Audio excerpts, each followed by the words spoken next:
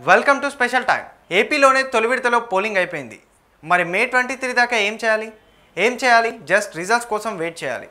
Just results కోసం wait చేస్తూ ఉంటే వాళ్ళు పొలిటికల్ లీడర్స్ ఎందుకు అవుతారు? అందుకే వైసీపీ నేతలు కొంచెం టచ్లో ఉంటే బెటర్ అంటున్నారట. అంటే మాత్రమే కాదు ఆ పనిలో బిజీగా ఉన్నారని టాక్ వైసీపీ నేతలు కాబట్టి ఆ పార్టీ అధినేత జగన్తో టచ్లో ఉన్నారని మీరు అనుకుంటున్నారా? అస్సలు కాదు. జగన్తో ఎలాగో టచ్లో ఉంటారు కదా? మరి ఇంకెవరితో? అసలు ఇలా జరుగుతున్న ప్రచారంలో నిజమెంత? వైసీపీ గెలుస్తుందా లేదా అన్న డిస్కషన్లో ప్రత్యర్థి పార్టీ ప్రస్తావన రావాలి కానీ విచిత్రంగా శారదా పీఠం ప్రస్తావన వస్తుందట. ఈ మధ్యకాలంలో విశాఖలోని శారదా పీఠాన్ని వైసీపీ నేతలు ఎక్కువగా దర్శిస్తున్నారట. ఈ అంశం మీద ఎందుకు చర్చ జరుగుతుందంటే వైసీపీ అధినేత జగన్ విజయం మీద ధీమాతో ఉండడం వైసీపీ నేతలు శారదా పీఠాన్ని దర్శించడం ఈ రెండు అంశాలకు లింక్ ఉందని అంటున్నారట. వైసీపీ కీలక నేతల్లో ఒకరు శ్రీకాంత్ రెడ్డి పవర్కొస్తే ముఖ్యమైన మంత్రివర్గం వస్తుందనే ఆలోచనలో ఉందట. అలాంటి శ్రీకాంత్ రెడ్డి శారదా పీఠాన్ని దర్శించారు. అది కూడా కుటుంబ సమేతంగా. ఆయనతో పాటు రాయదుర్గం వైసీపీ అభ్యర్థి ఆయన ఆశీర్వాదం తీసుకున్నారు. ఇలా చాలామంది నేతలు శారదా పీఠం వెళ్తున్నారని గుసగుసలు పార్టీ వర్గాల్లో వినిపిస్తున్నాయట. ఎందుకు అన్న ప్రశ్న కూడా పార్టీ నేతల మధ్య జరుగుతున్న చర్చే సమాధానం చెబుతుందట. వైసీపీ అధినేత జగన్కి స్వరూపానంద ఆశీర్వాదం అందించారు. ఇలా వైసీపీ అధినేత జగన్తో స్వరూపానందకు మంచి సంబంధాలున్నాయి. రేపు వైసీపీ పవర్లోకి వచ్చి జగన్ సీఎం అయితే ఆయన వద్ద స్వరూపానంద స్వామి మాట చెల్లుబాటు అవుతుందని పార్టీ నేతలు భావిస్తున్నారట. ఈ క్రమంలోనే స్వరూపానంద స్వామితో టచ్లో ఉంటే బాగుంటుందనే భావనలో అధిక మంది నేతలు శారదా పీఠానికి వెళ్తున్నారని పార్టీలో టాక్ వినిపిస్తోంది. స్వామికి కొంచెం టచ్లో ఉంటే బెటర్ ఏమోనని పార్టీ నేతలు భావిస్తున్నారట. వైసీపీ నేతలు స్వరూపానంద స్వామిని దర్శించడానికి స్వరూపానంద స్వామి వర్గాలు ఖండిస్తున్నాయి.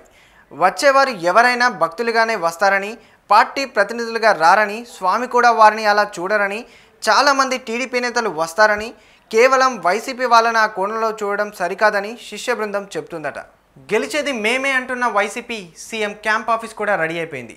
వైసీపీ ఇంతలా గెలుపుపై ధీమా ప్రదర్శిస్తున్నా ఇటు టీడీపీ నేతలు కూడా విజయావకాశాలపై ఎక్కడా డీలా పడట్లేదు. విజయంపై ఫుల్ కాన్ఫిడెంట్గా ఉన్నారట తెలుగు తమ్ముళ్ళు.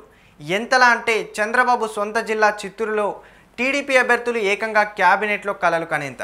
సామాజిక వర్గాల వారిగా లెక్కలు వేసుకుంటూ మంత్రి పదవులపై ఆశలు పెంచుకుంటున్నారట.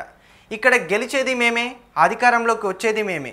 మా నేతకు మంత్రి పదవి ఖాయమంటే మా నేతకు మంత్రి పదవి ఖాయమంటూ లెక్కలు వేసుకుంటున్నారట. చిత్తూరు జిల్లాలో ఈసారైనా మెజార్టీ స్థానాలు దక్కాలని టీడీపీ అధినేత భావిస్తున్నారట. ఆ దిశగా ఎన్నికల సమయంలో చంద్రబాబు వర్కౌట్ కూడా చేశారట. చంద్రబాబు పార్టీ పగ్గాలు పట్టినప్పటి నుంచి ఇప్పటిదాకా ఆ జిల్లాలో మెజార్టీ స్థానాలు దక్కించుకోలేదు.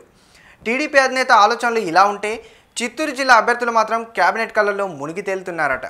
గెలుపు మీద ధీమాతో ఉన్న సీనియర్ నేతలు అటు పార్టీ కూడా పవర్లోకి వస్తుందని గట్టిగా నమ్ముతున్నారట. బూత్ల వారీగా లెక్కలేసుకుంటున్న టీడీపీ అభ్యర్థులు ఖచ్చితంగా గెలుస్తామని భావిస్తున్నారట. దీంతో పాటు మంత్రివర్గంలో కూడా చోటుంటుందన్న హోప్లో ఉన్నారట. రెండు వేల పద్నాలుగులో జిల్లాలో ఆరు స్థానాల్లో టీడీపీ గెలిచింది. చంద్రబాబు నాయుడు సీఎంగా ప్రమాణం చేస్తే క్యాబినెట్లో బొజ్జల గోపాలకృష్ణారెడ్డికి చోటు దక్కింది. రెండు వేల పంతొమ్మిదిలో కూడా జిల్లా నుంచి క్యాబినెట్లో చోటు దక్కుతుందని రెడ్డి సామాజిక వర్గానికి చెందిన అభ్యర్థులు ధీమాగా ఉన్నారట. అటు కమ్మ సామాజిక వర్గంలో కూడా మంత్రివర్గంపై అంచనాలు పెట్టుకున్నారట. టీడీపీ గెలిస్తే ముఖ్యమంత్రి అయ్యేది చంద్రబాబే. అందులో ఎలాంటి డౌట్ లేదు. జిల్లాలో కమ్మ సామాజిక వర్గం నుంచి మరొకరికి మంత్రి పదవి దక్కుతుందని ప్రచారం జరుగుతుందట. మరోవైపు బలిజ సామాజిక వర్గం కూడా క్యాబినెట్ కళలు కంటుందట. ఇలా చెప్పుకుంటూ పోతే పోటీ చేసిన సగం మంది అభ్యర్థులు మంత్రివర్గంపై ధీమాతో ఉన్నారట. చంద్రబాబు టీడీపీ అధినేత అయిన నుంచి చిత్తూరులో మెజార్టీ స్థానాలు గెలవలేదు. ఈసారి మాత్రం మెజార్టీ స్థానాలు గెలుస్తామన్న టీడీపీ అభ్యర్థులు గెలుపు గుర్రం ఎక్కే వాళ్ళలో తాము ఉన్నామని లెక్కలేసుకుంటున్నారట. పనిలో పనిగా క్యాబినెట్ కళల్లో మునిగి తేలుతున్నారట. ఇటు ఆయా జిల్లాల్లో అభ్యర్థులు చేస్తున్న ప్రచారంపై బెట్టింగ్ కూడా జోరుగా సాగుతుందట. దీంతో జిల్లాలో పొలిటికల్ సందడి మరింత పెరిగింది. ఫలితాలు రాకముందే మంత్రివర్యాన్ని పిలిపించుకోవడానికి టీడీపీ అభ్యర్థులు పడుతున్న తాతను చూసి ఓడిపోతే పరిస్థితి ఏంటి? వీళ్ళు గెలిచిన పార్టీ పవర్లోకి రాకుంటే పరిస్థితి ఏంటన్న చర్చ కూడా రాజకీయ వర్గాల్లో సాగుతోంది. ఇది ఇవాళ స్పెషల్ టైం. మరో స్పెషల్ టైంలో మళ్ళీ కలుద్దాం. స్టేట్యూన్